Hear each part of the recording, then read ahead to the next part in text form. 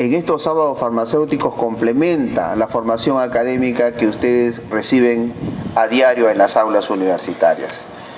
Me siento muy contento de tenerlos aquí y de igual manera me siento muy complacido de contar con la presencia de un amigo, de un colega químico farmacéutico de la Universidad Nacional Mayor de San Marcos, que hoy nos acompaña en este último sábado farmacéutico del año. Se trata del doctor Manuel Torres Roca.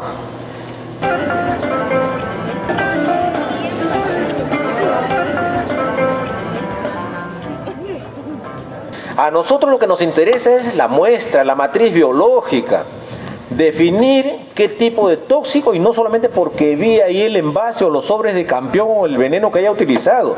Nos interesa a nosotros determinar fehacientemente cuál es el tóxico que se encuentra ahí. Las letras pueden decir mucho. Yo puedo encontrar 50 sobres de campeón y de repente murió de un martillazo en la cabeza, ¿no? Entonces, esa es la labor del químico toxicólogo.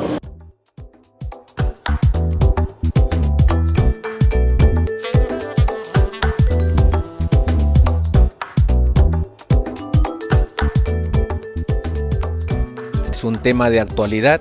La legislación, las leyes están cambiando mucho, de tal manera que ahora la aplicación de los conocimientos químico-toxicológicos en el desempeño justamente de, este, de esta especialidad es bastante promisorio. ¿no? Hay, hay mucho campo laboral por realizar, lo que sí se requiere es personales capacitados, preparados y no basta con simplemente un título profesional ahora, hay que especializarse. Porque como habíamos visto en parte de nuestra exposición, ¿no? necesitamos profesionales experimentados, capaces, preparados convenientemente. Una vez más, eh, han visto ustedes el éxito rotundo que tienen nuestros sábados farmacéuticos. Hemos invitado al, al doctor Manuel Torres Roca para que nos hable sobre la toxicología forense, donde tiene una participación importante el químico farmacéutico. Ustedes han sido testigos de las motivaciones que el doctor les ha hecho a, nuestros, estudiantes. Y aquel que inicia esta aventura químico-farmacéutica, ¿no? Debe conocerla desde el principio y hacerlo con placer, con gusto, porque de verdad que es un, es un apostolado justamente la, la profesión químico-farmacéutica, ¿no?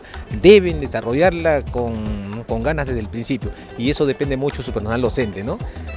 Eh, buscar el perfil de los muchachos, ¿no? En qué pueden desempeñarse, mostrarles las diferentes posibilidades para que puedan desarrollar convenientemente, ¿no? Creo que es tarea de los docentes empezar a filtrar las capacidades de los muchachos para poder orientarlos en el campo que mejor pueden desarrollarse y donde más potencial tienen.